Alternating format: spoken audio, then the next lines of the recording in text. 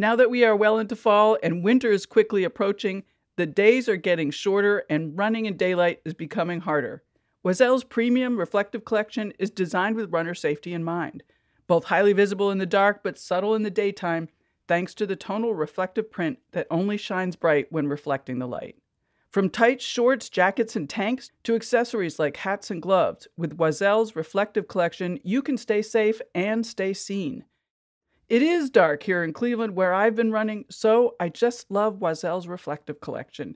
I'm a big fan of the firecracker tights. The bird pattern is so cute, and they look all over sparkly at night. To check out the firecracker tights and the rest of the reflective collection, go to oiselle.com slash collection slash reflective, or even easier, click the banner link at the top of the Hear Her Sports website at hearhersports.com.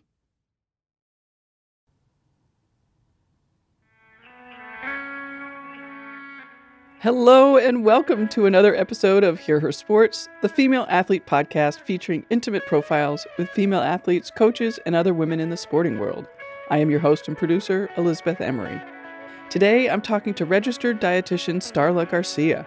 She guides runners to eat and feel better in their sport and way beyond. Starla is also a speedy and dedicated runner herself. She just had a stellar run in her first 50 mile trail race.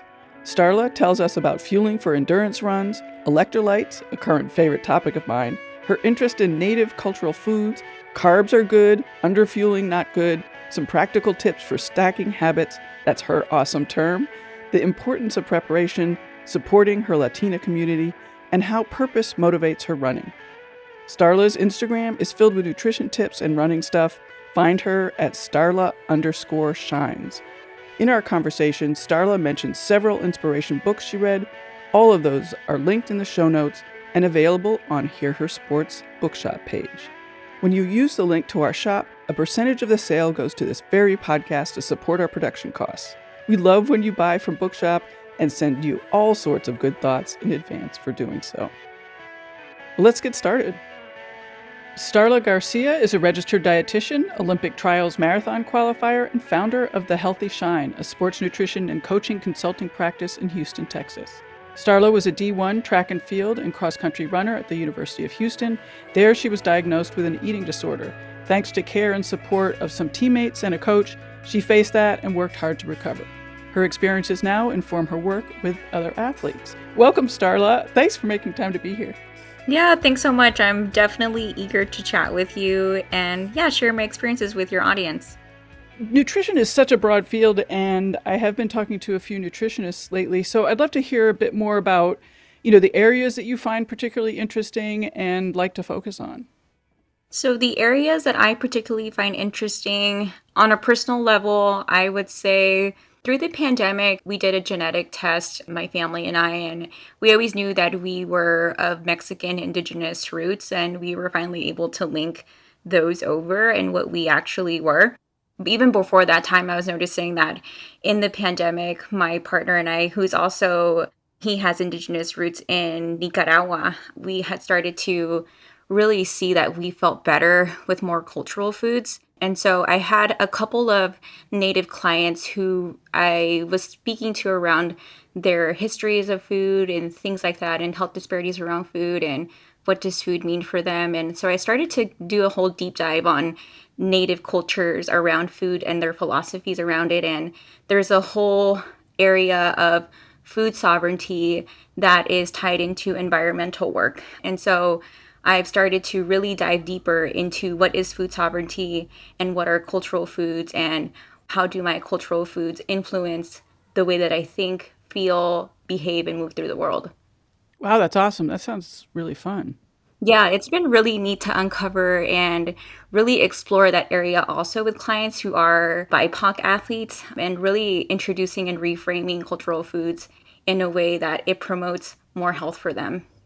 You mentioned that you feel better when you eat sort of your own cultural foods. Could you talk about that a bit more? Like what kind of foods and what did you notice in the way that you feel? I started to feel more connected, and I always knew this way back in college where I would start to get really homesick. Um, and I was away for long periods of time for like the first time of my life. And, you know, I was a year round athlete from going from cross country to track and then doing summer training. going into my senior year of college, I stayed year round. I did summer classes. So there were long periods of feeling homesick and I started to cook more of my my foods from home, the foods that my mother would make for me whenever I would come back. And so I noticed that whenever I would start to feel like that, I would feel so much better when I would do it and I would just feel more connected. There is a phrase in native communities where and I'm I'm totally butchering this, but it's also whenever you are too away from the land, you need to go back and feed your soul. And so, whenever we have more of our cultural foods, we start to feel so much more connected to our family and we don't feel alone. You always feel like you are more peaceful, you feel loved, you feel supported through the foods, and not just in a physical way, in a healing way, but also in an emotional and mental way. And so, whenever I eat foods like beans, rice, corn, tortillas, things with corn masa, those are the things that I feel more connected to. And and I think there's a lot of shaming that can happen around a lot of these foods that because they're so carbohydrate dense. But as an endurance athlete, I started to really see like, no, whenever I have my cultural foods, what is the history behind them? What is the history of corn in Mexico and what is the history of things like the tamales and things with masa? And it was to provide endurance and long lasting stamina for people that were going to go out for long periods of time to do work. I understand through Deanna Bellany, who was the person who recommended that I reach out to you, that the field of nutrition is not diverse at all. So, what have your experiences been? Um, I guess during your education, but also in your professional life and dealing with clients. I mean, because it, there's not very much diversity, I would think that a lot of clients would be interested in working with you. A lot of BIPOC clients would be interested in working with you. Yeah, uh, professionally, I do have a lot of BIPOC clients that want to work with me specifically because they realize that they don't have to give up their foods to perform well. And I think that was something that we have heard a long time in nutrition information, marketing, education even on media platforms. Like there's not a lot of content that is catered around cultural foods or implementing them. If they are, they're more termed as like superfoods. But how do we include like rice and beans, things with masa on a daily basis that we can see that are are also health promoting? I think in my my undergraduate work, it was very clinically focused. So we were looking at how do we heal somebody through medication, health promoting behaviors, but it wasn't ever how do we include cultural foods? Like there was a lack of culturally sensitive and competent material. I think maybe the first time I really had it was in my graduate work where I was looking at health disparities and I was doing research on it and we were looking at, you know, Latino families that were less assimilated were actually healthier and the more assimilated they became, they started to have more of the health issues that we see when I read about that and we were wondering why was that happening, how do we measure assimilation, how do we measure acculturation, all of those things, I was like, huh, I was like, this is very interesting to me. And it just stuck with me over the last decade of, you know, now being a professional in the field. How do I encourage that my clients go back to their cultural foods and how can I teach them ways to implement them and how do we talk about them? How do we reframe them? And how do we also encourage families to come together again and eat these cultural foods? Are most of your clients runners? Yes, 100% of my clients are runners. Okay. Mm-hmm. So, what are they coming to you for, or why are they coming to you? What are the issues that make them want to work with a nutritionist? Um, so, the issues that they may be having may be stemming from their relationship to food, maybe their relationship to exercise. A lot of them, they want to run better and feel better. They want to run stronger. They want to run faster. So it's a lot of performance based. And then there's also clients that just really want to be consistent and they want to learn how to eat well on a daily basis. Some of them may be having difficulty with transitioning from a beginner level and they want to get faster, but they don't know why or maybe just a fueling strategy for an upcoming race like a marathon or trail run, whatever it is that they have on the agenda. And did you learn a lot about sports nutrition in school?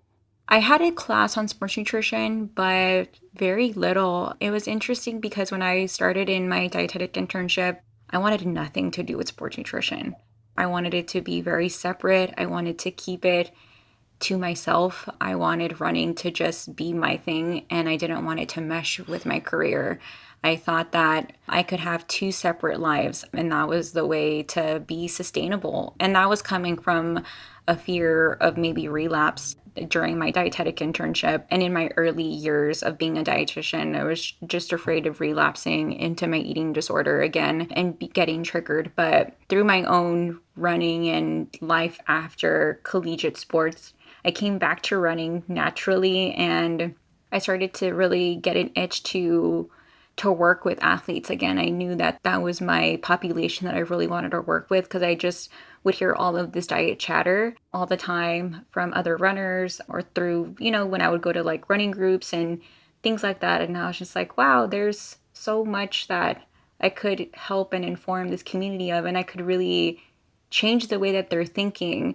It doesn't have to be like like very extreme behaviors to perform well. You can perform well and be consistent and have health promoting behaviors on a daily basis if we just reframe things.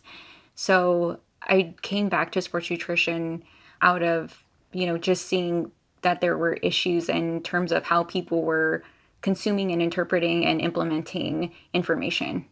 It's so interesting how, you know, like athletes are so structured and focused. And, you know, like you talk a lot about being a type A personality. And mm-hmm. yet nutrition seems like a place where we often get things wrong. Yeah, I think I think people just really want to be great at things sometimes too i think nutrition is this gateway to other health behaviors that they want to improve um, and so they think that if they can control this one thing everything else will get better and we see that a lot in eating disorder treatment where if i'm just thinner enough everything else will be better and so i saw a very similar thought process with runners and i think a lot of runners they they want to identify as one they want to be part of a community they want to get it just right all the time. And it's funny because there's a lot of being imperfect at it actually works to people's benefit because you can troubleshoot a lot better in a race.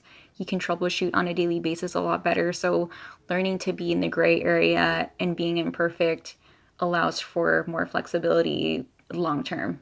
Oh, that's interesting. Mm-hmm.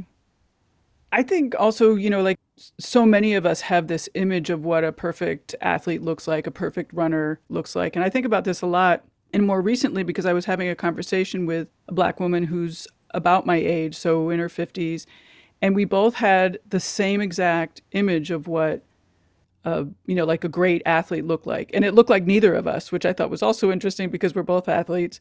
And and you've certainly talked about that kind of thing as well. It's like this this image that that none of us can live up to. Mm-hmm. Yeah, I think if we're constantly chasing this idea of perfection or perfect bodies, I think sometimes we fail to really see that the way to be the athlete we've always wanted is to just really accept and work with the body that we have because it's gotten us so far into that sport already. So if we just nurture it a little bit better, it just will perform a lot better for us. And I think, you know, for me as well, like being a minority in the sport was, I mean, I, th- I think I had a lot of emotional intelligence when I was in high school to really see that, but I didn't understand what to do with it necessarily. I didn't see it as like purposeful or impactful. I just thought like you you know, how do I blend in more? How do I make myself good like everybody else? And it was not like I'm good on my own. I don't have to blend in the reason why I don't blend in is like I need to understand that that's actually very unique. Like I have something special here. It seems like there's been more discussion about Red-S these days and also just, you know, the general idea of fueling for your sport and for performance. Is that my perception or are you seeing that as well? I'm definitely seeing it as well, which I think is great when we think about younger athletes I think we do need to give a little bit more attention right now to the younger generation because um, I am seeing as well a lot of pressure from their peers and from themselves to be perfect all the time because their entire lives are now on social media. So I think there is a lot of additional pressure, more so from when I was in school, like 15 years ago, 20 years ago. In terms of Red S, I think it's important to to really not just talk to younger girls about it, but I think also males as well, because I am seeing a big uptick in in males as well right now in mm. teenage boys. So it's interesting because I do think as younger girls push for a more perfect image of themselves, we're also seeing that males are also feeling that they need to be as equally perfect. Hmm. And your clients and the people that you've worked with, are they fueling properly when they come to you, or is that one of the big things that you're sort of instructing them on? Yeah, so I'd say across the board, you'll see a lot of dietitians, particularly in endurance sports, talk about underfueling a lot. And it's because I think people think they're overeating all the time, but at some point they're having underfueling happen. Maybe it's intentionally or unintentionally, and that leads to the overeating. So you have to first identify and encourage an athlete to fuel and stop underfueling so they can stop the overeating happening. So they just find themselves in this cycle. But in order to really solve the problem, you have to solve the underfueling first. How does that cycle work, the underfueling, overfueling?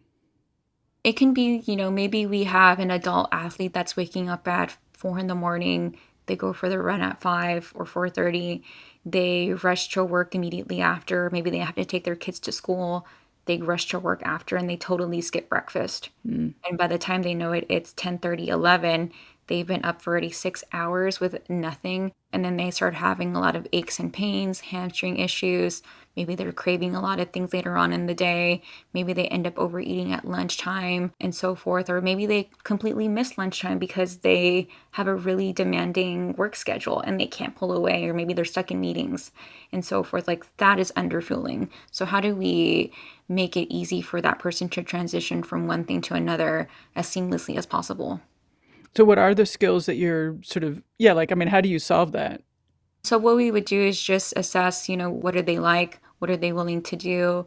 Um, maybe it's a mindset issue. Maybe they think I'm intermittent fasting. Can I give them some education around intermittent fasting? How does it impact females? How does it impact males? What is it going to do to their performance? So, really providing evidence based nutrition recommendations and encouraging them, hey, research is saying it's not benefiting you.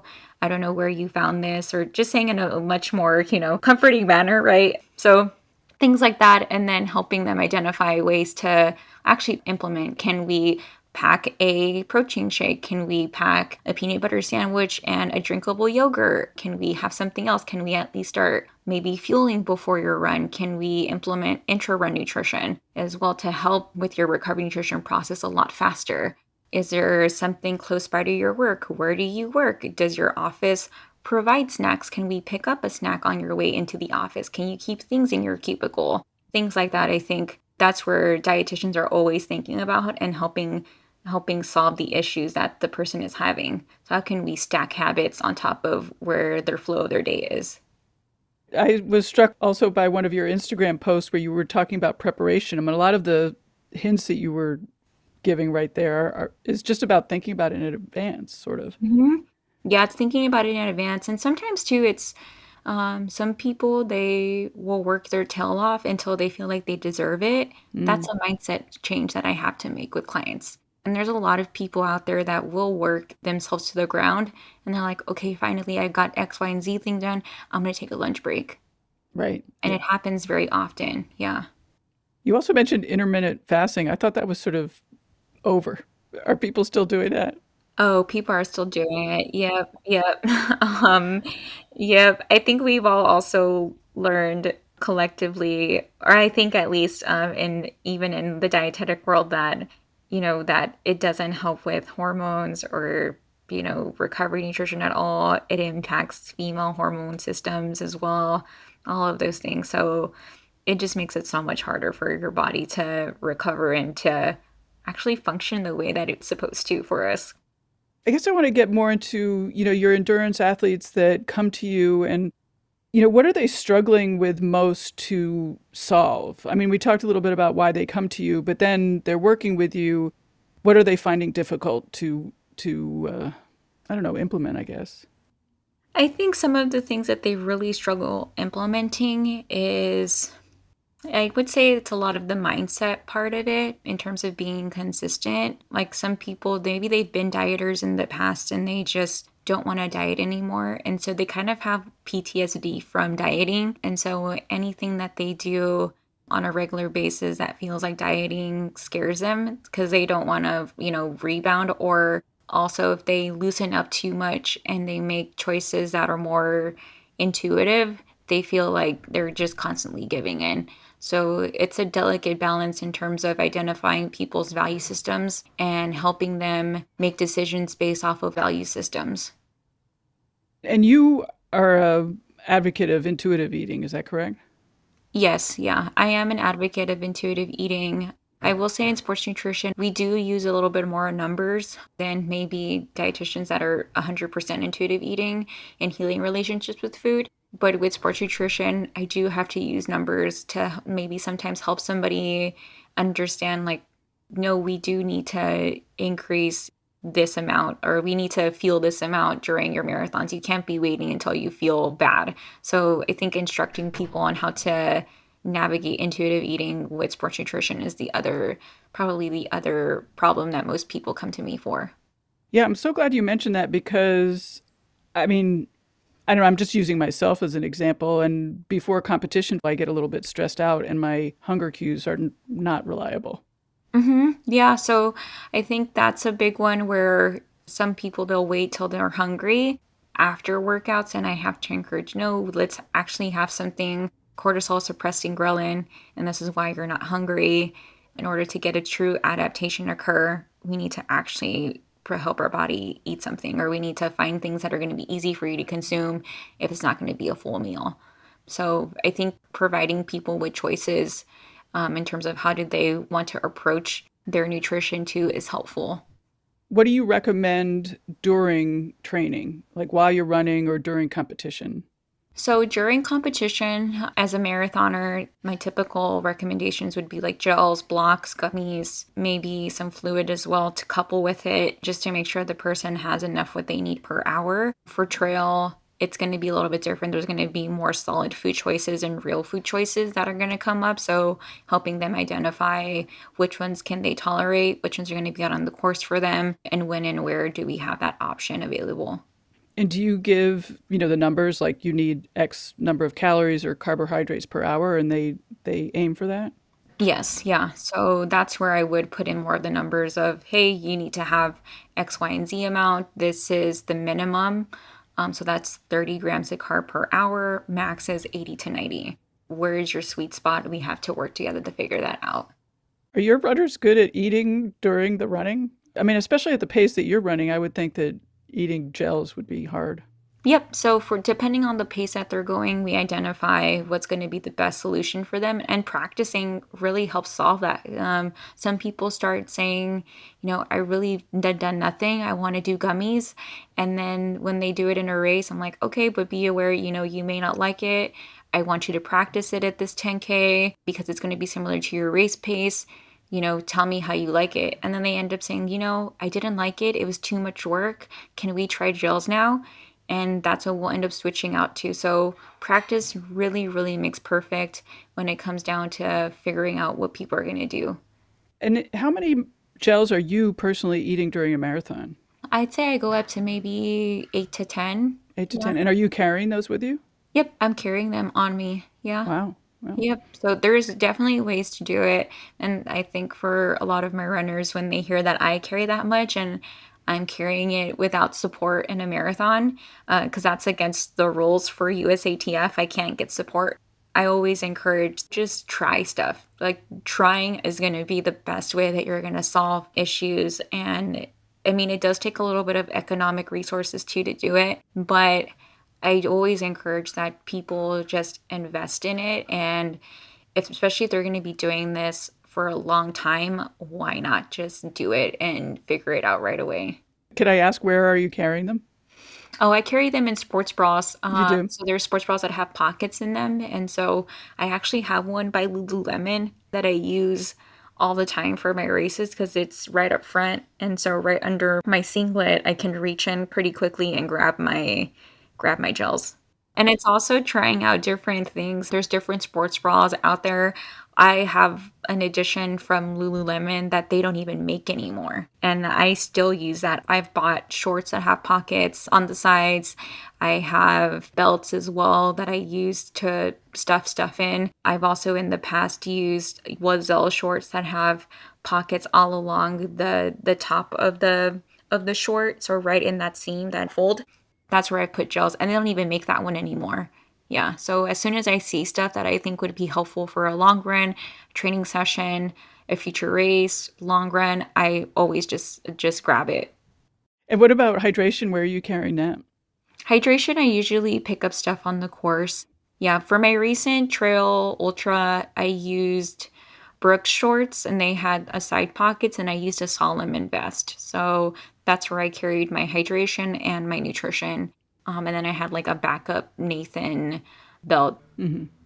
You've spoken in the past about running in the Olympic marathon trials and how you were one of the few Latinas there.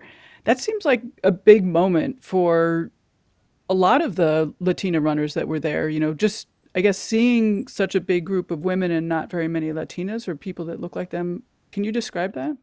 I think I was one of 25 women that were there. So I think it was neat to just be able to have a community.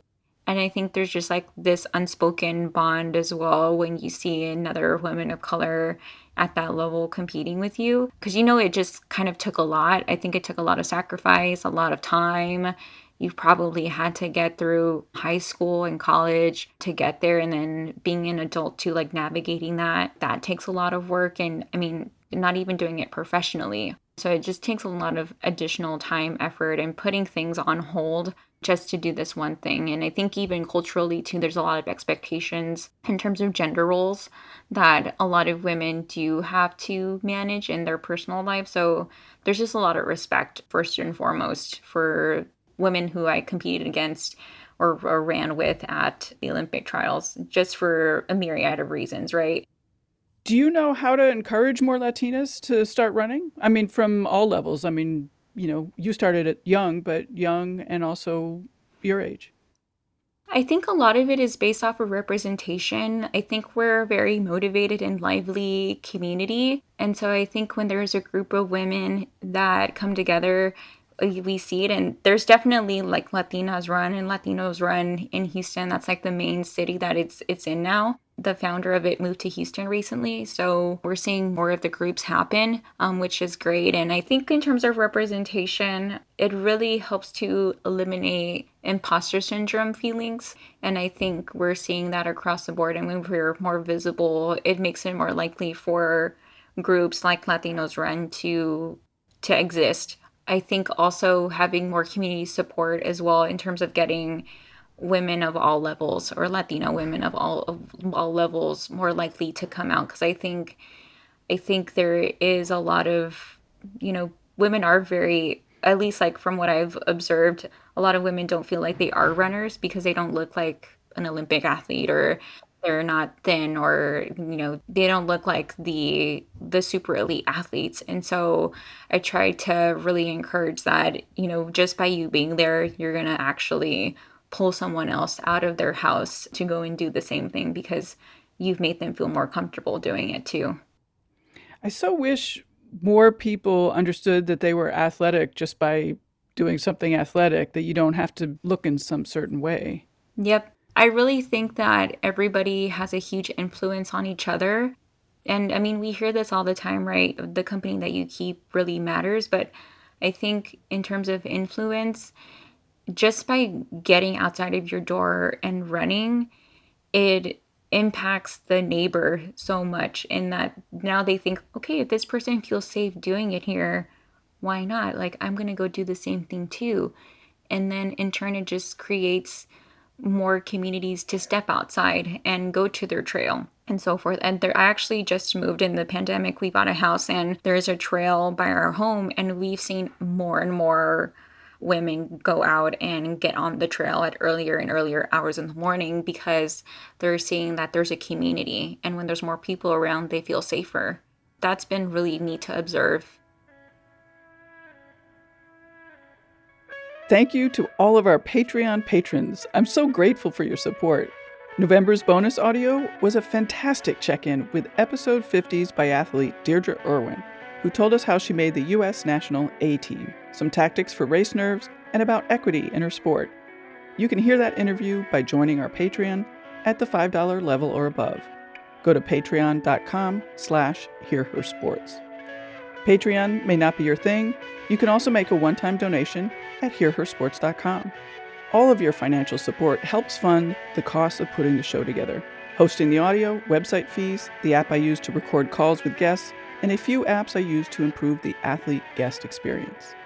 Your support makes a difference for us, and beyond that, supporting independent women run sports media increases the percentage of sports coverage about women.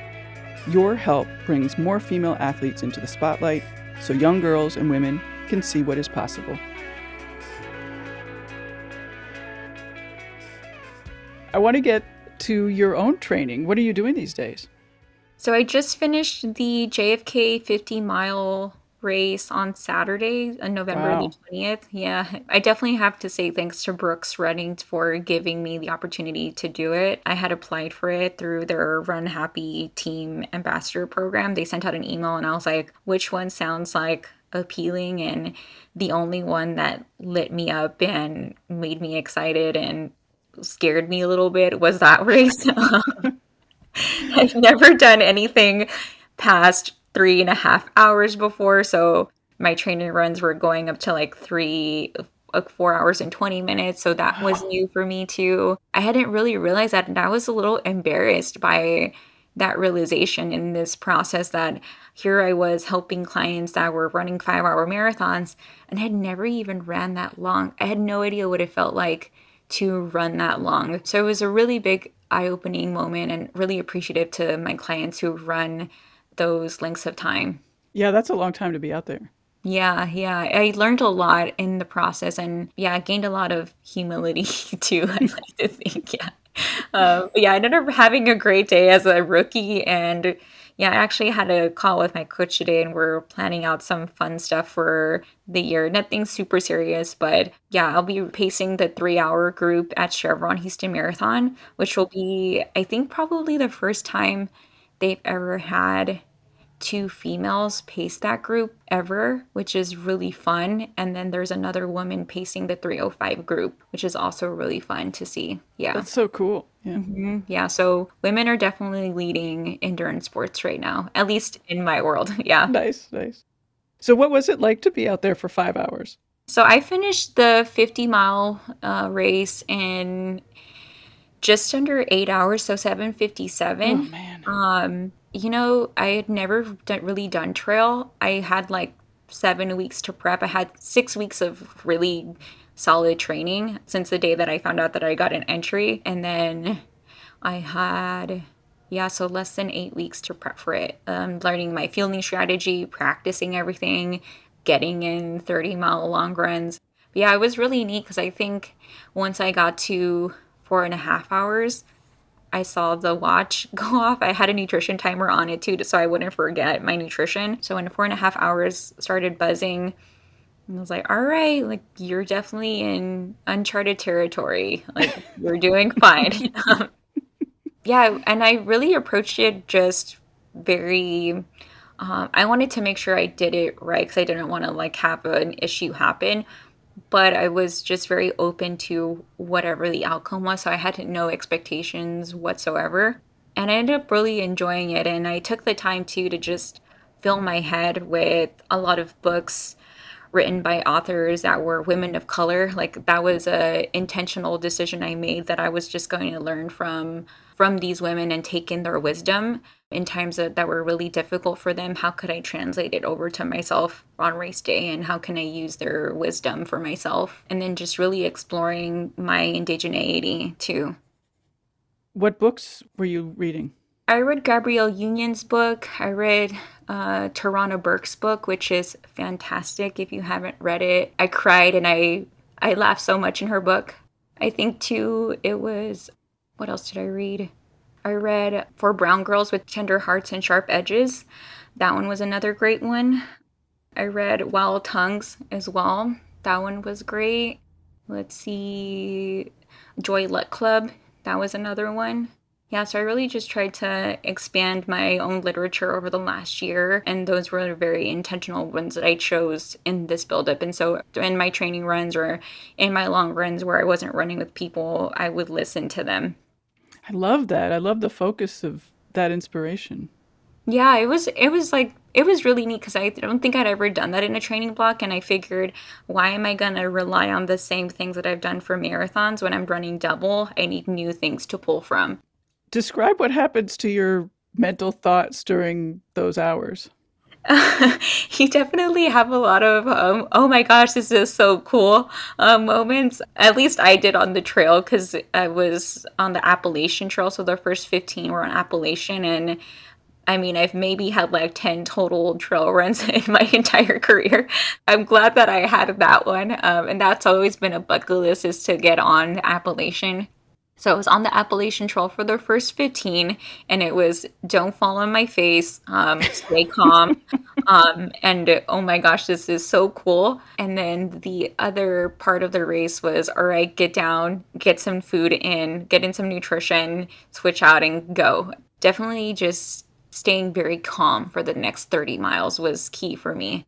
And I think just being very patient too, because I I definitely am still a competitor. I wanted to go and like catch up with everybody else because I'm so unexperienced at trail that I knew I was kind of I was kind of in the middle, but I was in the front pack for the women. So I wanted to just kind of pick people off slowly and just use that as, you know, just to keep me as focused and keep it fun for me.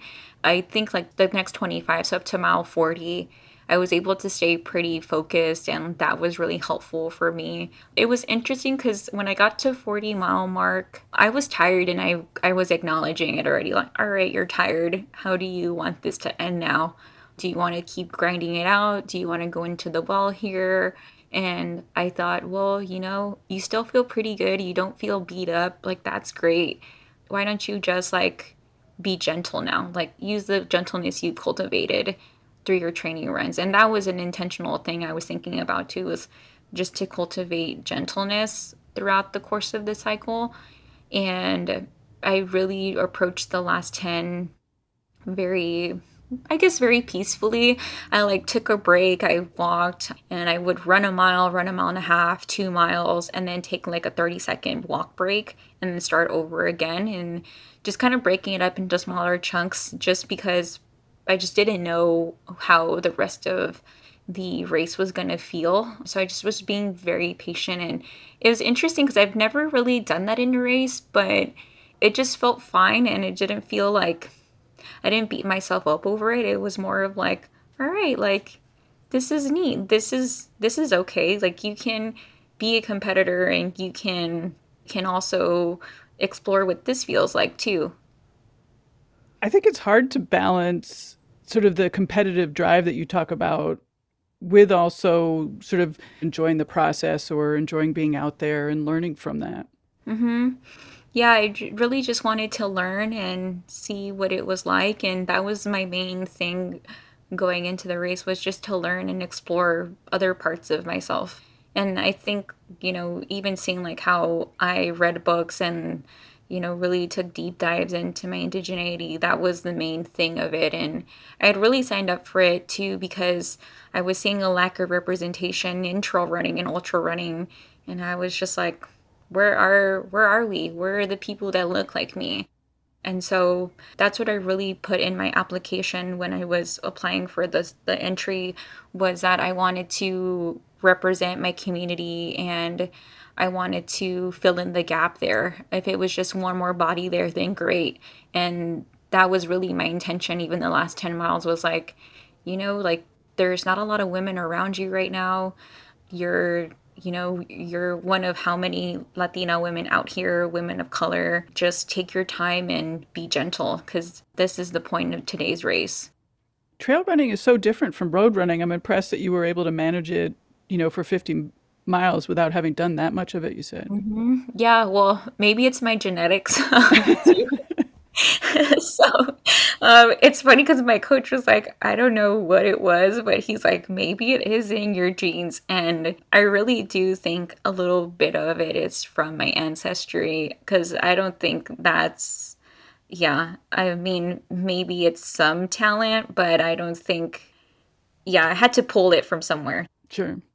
What was your nutrition like? Did you change it from the marathon at all and how?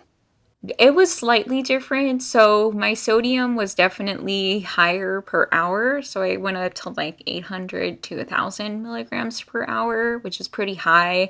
And I'm a salty sweater already. So there was that. And then I took in a gel every 30 minutes, and my fluids had carbohydrates in it. So I definitely carried more on me and there were stops every 10 to 12 miles.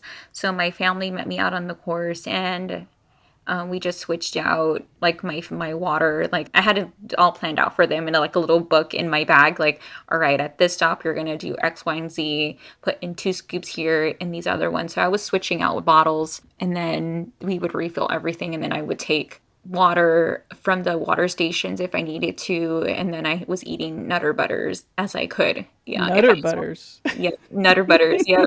Trail runners eat some interesting things. There's ramen noodles. There's hot dogs out there. Peanut butter sandwiches. There's also potato chips as well. So I took some potato chips at like mile 15. Yeah. Uh, all kinds of stuff. Pickle juice, pickles. Yeah. Are you going to do another one? Um, yeah, I'd like to do another one just to just to also see. And now that I know what mile forty to fifty feels like, um, right. I was actually telling my coach that I think I could I could shave off another thirty minutes off that time. So we'll see. I definitely. I mean, the women that I competed against were phenomenal. Uh, there was, I think, the top 10 were all pros, and I was 17th overall. And even then, I was looking at where the other women live, and they definitely live in hillier areas. And it was funny because in that one race, I got 3,000 feet elevation gain, and I think I had like four weeks with that amount total uh, yeah, training. So Yep. So I definitely have my work cut out for me for the next one I do, or if I do it next year, maybe my buildup would be a little bit different just to prep for it. But yeah, it was a really neat experience, and yeah, I'm very thankful for Brooks for letting me do it. What do you think you would change if you did it again, both during the the lead up, but also during the race? Oh, I think my training would definitely help me a little bit better in my race. I think having more time to train on trail when maybe getting some elevation could have helped my trail time um, coming off of it. Um, maybe shaving off like 10 15 minutes there. And then i think maybe transition wise like having faster transitions available. Um, maybe instead of having like my family switch out my bottles i probably would just allow the people there to refill me so just mm-hmm. opening up my pack and then pouring in water and then i can mix it myself yeah did you have doubts when you were out there? You know, no, I didn't have any like any feelings of like it's okay to drop out today or anything like that. I don't know what it was. I think I don't know if it was maybe like the books that I read where it was like people enduring years of oppression and years of, you know, abuse and things like that and difficulties and challenges, but I related to their story so much because I felt like that was me for a really long time. So I didn't really feel like I was gonna DNF my race. Yeah, I think I think also like I knew what the intention was for the race early on and it was to represent a community and it wasn't like start the line and drop out. It was like you're to finish it and it's okay if you have to walk it because the whole point is just to represent your community. I'm glad you mentioned the salt intake and how you up the salt intake. And could you talk more about sort of electrolytes and particularly magnesium? Because I've been dealing with some magnesium loss during running. And so I'd just be curious about what the body's going through during training and what happens. Yeah, so with electrolytes, I mean, athletes are special people. Sometimes we want to listen to like the American guidelines for stuff, but it's also, I mean, you're an athlete nonetheless. So I try to encourage like if there's salt on your skin, that's not necessarily a good thing. Like it means that, you know, your body is trying to find homeostasis for you, right? And bring down your internal temperature. But we also want to recognize like how can we help our body? How can we help it not have to do that in future exercise? So that means increasing fluid so that way you can actually keep fluid in the cell. When cell exits the your body and onto your skin layer, it's going to pull more water out with it too. So it's like osmosis, wherever salt goes, water goes. So that's the whole reason why we have salting out is because it's pulling water out from your cell, your muscle cell in particular, and your other functions that need water out with it. So when that happens, core temperature increases and you make yourself more likely for dehydration or heat exhaustion. And then also muscle cramping and fatigue because now we don't have those electrolytes to help with contractions. And it's not just like muscle contractions, it's also heart contractions because we have cardiac muscle. Hmm. So I think people forget about that too. Um, so electrolytes are super important probably my favorite thing to focus on first with a lot of runners because I'm in Texas and we have a lot of hot days here. And I find that once I fix that, people start to feel so much better. And it's a great way to also gut train too because you can find mixes that have carbohydrates in it and they're easier to digest for many people. So it's kind of like a threefold. I improve electrolyte, hydration, and carb intake, and I start to gut train them. And hmm. so then I'll start to maybe implement some gels and pull them a little bit away from fluid so much because the likelihood of them wanting to carry so much fluid in a marathon or in a half marathon is very unlikely. So when I have them hydrated, then I can implement nutrition and then they have less stomach problems or stomach aches because now they're hydrated. Oh, that's interesting. Yeah, sure. I kind of like to do it that way. It's a little bit more lengthier, but in the long run, it helps people really see the benefit of electrolytes at 100% capacity. What changes happen in terms of the sweating and the loss of electrolytes and magnesium and other salts during a person's lifetime, I guess? Yeah, so they're also minerals, right? So mm-hmm. it can impact sleep um, and it can also impact hormones. So, like thyroid issues, for example, those are a lot of mineral deficiencies. So, I always try to encourage the electrolytes are a big thing that we want to solve for long term purposes in terms of hormone, gut health, and even sleep and thyroid issues that many women do find themselves in, or Hashimoto's, or whatever that is for that person. So, it's not even just like sport nutrition I'm trying to improve, but maybe even prevent future issues from popping up for that person. Do you work with older women as well? I work with some women in menopause. I would say probably because I've never had children or I'm also not of the age. Maybe I don't have enough credibility or experience in those areas, but I do have a couple of them. Yeah, I'm going through perimenopause and I would never have imagined it's like it is. So Right, right. I mean, we're all learning from you guys and what I tell a lot of my clients who are going through it is like what a neat time to be exploring this because in turn I'm learning from you and then I can make it better for other people. And not just that, but really the women who are going through menopause now they are the first generation of female athletes or they have been right? Um, maybe their parents or their mothers didn't play sports and they are the first ones. So we're also learning what's happening to athletic populations or women that are staying active for years of their life now. Like what a neat time to learn together.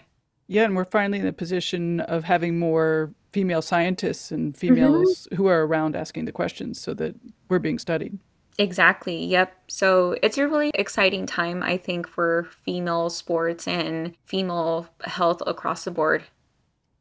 What do you have planned for the future? I mean, for your business, for your running, for women in sports?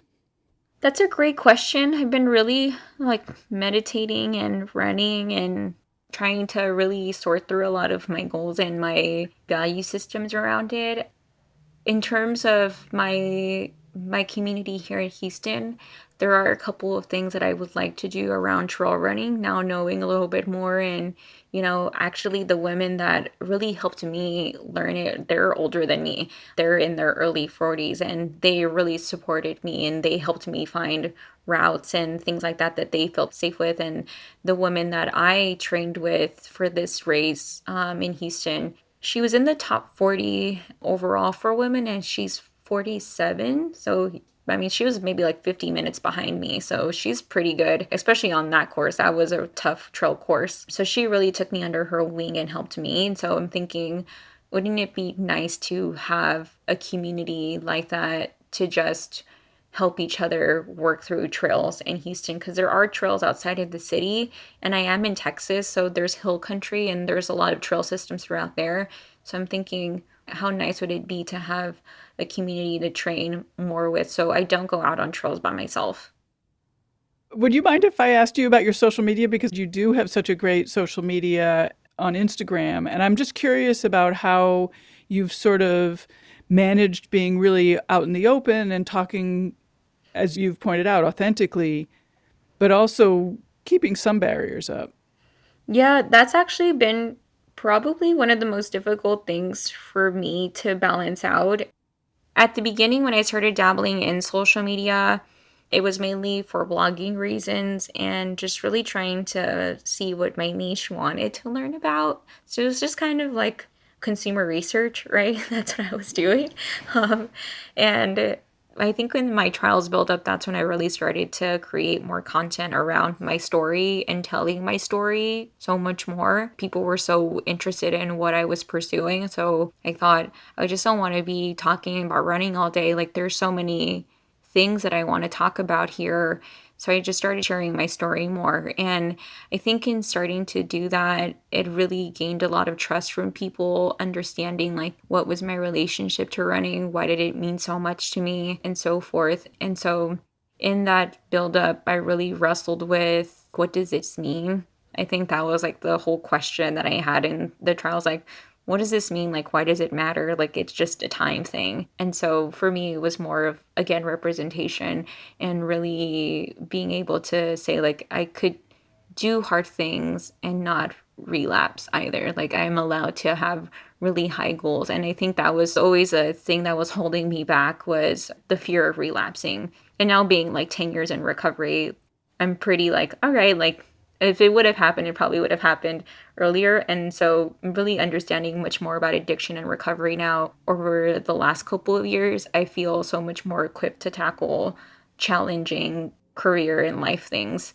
I think in my social media, I really try to share as much as possible with them. But the line there is if I'm currently going through a struggle period, I don't share that. I don't share an open wound at all. I only share when it's been healed. Being able to really capture the whole story for people when it's finally healed is much better and more fruitful. Oh, that's an interesting way to look at it. Yeah. I mean, have you ever felt weird posting so much?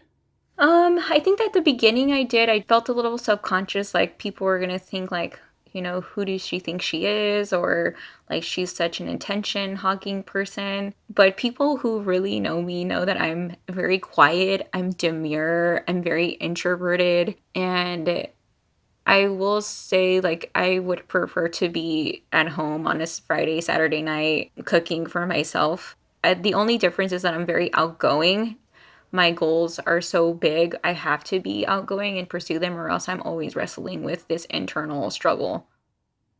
But it's interesting, too, that you're willing to stand up and speak up because you think it's so important.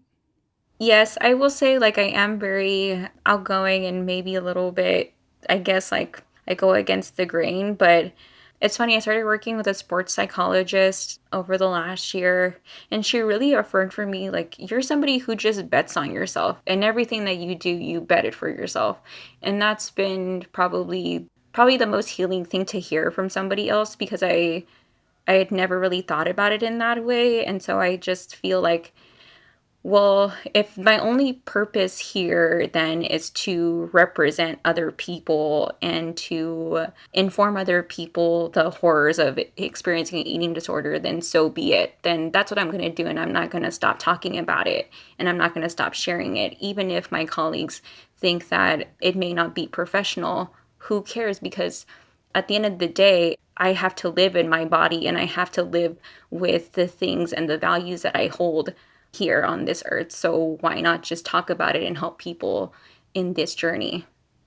That's fantastic. Do you have, as a parting words, any advice for listeners who might want to be thinking about their nutrition and their running? I'd say, what do you have to lose? If you keep waiting, you're just wasting time and you could cause yourself some heartache with your running because if it means that much to you and it hurts when you don't perform well, why not just invest and work on it with somebody who is just as invested with you? Yeah, it makes a real difference to work with a professional. Yeah, it does. I've had coaches my entire life. So, like, I would say I have the success that I have and I feel successful because of them. I've had coaches since I was in first, second, third grade. Yeah. Like I've had coaches around me my entire life. So, I mean, I still use a coach. I use a sports psych. Like when I'm not supported, I'm not 100%. And so I don't know how people get through life without support. It's so funny that you say that because I love having a coach. I have a coach right now. Mm-hmm. And sometimes I think like why can't I do this on my own? Yeah, yeah. Exactly. But I mean, it makes sense. Like, I just got lucky that I was an athlete and I've seen the benefits of having a coach. Like, what luck did I have as a kid? Like, how lucky was I to have coaches throughout such important periods of my life. And even in college, I had coaches, I had a dietitian, I had a therapist, when I was in grad school, I was really struggling because I didn't have any of those things. It wasn't until I came back to athletics where I finally had a coach. And then I've had several coaches too. But even then, like just having the support in other people, and I'd say like I've flourished in the pandemic because I had a mentor, I had a therapist, I had a coach, like I had a, even a physical therapist helping me through my injury. Yeah, so I see the power in asking for help and getting support. Sometimes for me, it's just, you know, like having somebody else to talk to about it. I, I don't want to diminish it by saying it's a sounding board, but yeah, some of it is that. Yeah, well, I really think sport is the vehicle for for self realization and self exploration and for really understanding yourself. How are you not investing in multiple people helping you into self actualization? How are you just relying on yourself 100%? Like you need other people because then they bring experiences that are going to be so helpful and that's something that I try to encourage with a lot of my clients of color is that we learn through storytelling. That's the way that we learn and we heal and we solve we heal our soul wounds like that is that is the way through true healing is by learning and reading and through understanding other people's experiences and having these stories that's why i don't stop sharing my story because i know my community of color needs to hear it because that's how we heal well it's like you reading all of those books before you did your 50 miler Exactly. Mm-hmm. And we will end there because that's awesome. Thank you so much for being here. Thanks for taking the time, you know, again, especially after Thanksgiving. Yeah, thank you so much for having me. And I, I know I get on a soapbox, but yeah. I love a good soapbox, I gotta tell you. Thanks, yeah. Well, that's it for another terrific show. It's great to be here with you. Thanks for listening. You being here, sending me your thoughts, and telling your friends what you've heard and learned is the whole point of the show. A special thank you to Deanna Belleny for introducing me to Starla. Deanna is also a registered dietitian, is the co founder of Diversified Dietetics, and is my guest in episode 86. It's so important for women to help women. The world needs so much more of that, always, so thank you again, Deanna. Today's episode with Starla is part of a little series on nutrition. There are a few more coming up, so let me know if you have any nutrition or fueling questions for an expert, and I'll ask my next guests. Find me on social at Hear Her Sports or email Elizabeth at hearhersports.com. We always have great shows coming up, so make sure to subscribe for free to Hear Her Sports on your favorite podcast player so you don't miss anything. Until next time, bye bye.